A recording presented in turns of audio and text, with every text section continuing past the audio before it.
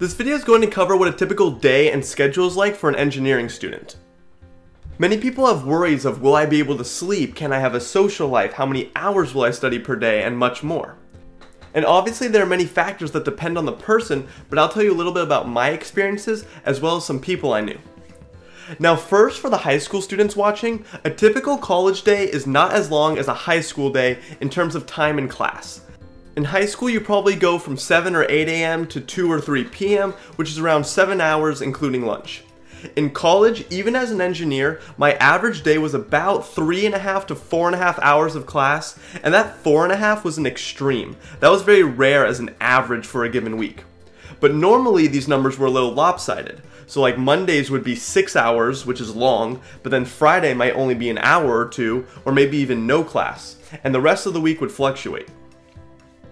So here's an example of my actual Monday schedule for my first quarter of my second year. The reason this day was long was because I had that Monday lab that was three hours long. But labs were usually only once per week for a given class. Tuesday then was a little better and only four hours long because there was no lab. My history class was only Tuesdays and Thursdays, and differential equations had off on Mondays, which is why you see it here. Then my Thursdays and Fridays were even shorter than this. And notice that you really don't have the same day twice in a row usually when it comes to college. So those were my four courses for that quarter. Typically one or two of those would have labs, which would be three hours for each given class. The lectures for my major classes would usually have one homework assignment due per week. The other classes like math sometimes required the homework assignment and sometimes it wasn't required. The labs would have one lab report due per week at the beginning of each lab, as well as a pre-lab normally. And some classes had weekly quizzes. And you also come across projects in various classes. In my digital design class, we had many programming assignments on top of the typical homework assignments. Then lastly, every class had on average two exams and a final throughout the quarter. Some had three exams and some had one, but on average it was two, then a final. Everything you see here was very typical for me. This wasn't my hardest quarter, which was during my third year, but it also wasn't my easiest. And note, this was my schedule for my school and that is it. Other schools might have no homework required, and some may require it every day. I had a quarter system while many schools have semesters. So I can't speak for everyone, but this is what I went through. So yes, this is a lot of work if you procrastinate. But once you see your schedule and know what kind of work it will involve, plan your time and figure out how you will do all this. Even if all your weekly assignments take you 5 hours each, which is a lot, that's more than I spent on most of my assignments, that only comes out to just over 2 hours per day of working on them if you spread it out, which is very manageable. But it's once you procrastinate and account for everything else like midterms and papers, and that's when you run into trouble. Now when it comes to studying, they say you should spend 2 to 3 hours outside of class for every unit you're enrolled in which for a typical semester or quarter would be around 30 to 40 hours per week on average.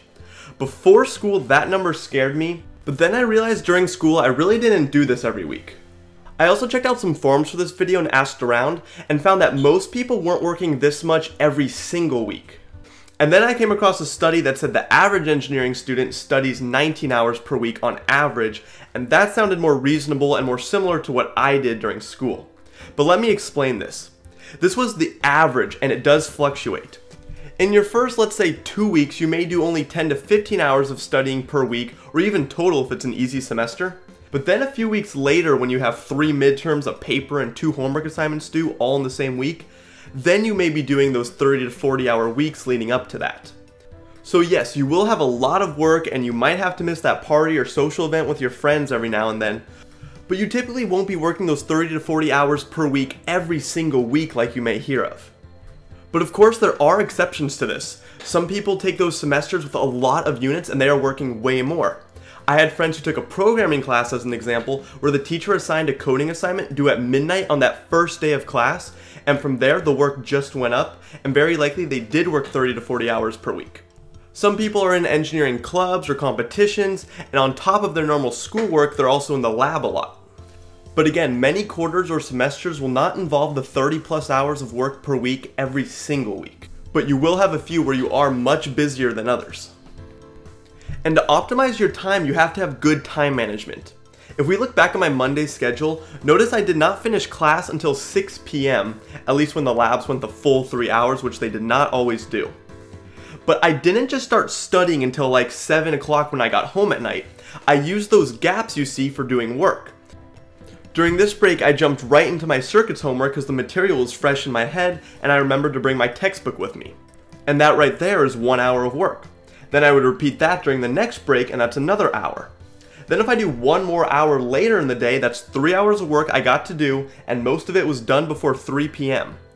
Then since I didn't have to do as much work later on, I was able to go to the gym after class or just relax later at night rather than keep doing all the homework that I procrastinated. I definitely wasn't always able to do this because two hours isn't that much studying, but it did help free up my time later in the day and into the night. The other option is to wait till I get home at maybe 6.30 or 7, then I have to work all those 3 hours and won't be done with that same material until around 10 at night. But overall there's so much variation from person to person. Your third year will be more difficult than your first. Some quarters or semesters you will have that one class that everyone is scared of because it's known to be very difficult. Some people take longer to learn new material. I had roommates for one quarter, I just never saw them because they were always working, but then that went away the next quarter. I had to pull an all-nighter for some programming assignments, but most quarters I wasn't doing that. I knew people in frats and sororities, people on sports teams, people who partied, people who frequently went to the gym, people with part-time jobs, and people involved in multiple extracurriculars and so on. I personally had a job my third and fourth year that took around 12 to 15 hours of work per week, and I still managed to get through. Without that job, I would have had even more time. Some weeks were definitely very stressful, but I knew I had to prepare for those properly. So can you have a social life? Of course you can. It might not be every week or even every semester if you really need to catch up, but if you learn to manage yourself, you can find a balance between everything. It is a ton of work, but start early in the term and try to keep up and you can definitely make it through. If you like this video, don't forget to comment, like, and subscribe, and I'll see you all next time.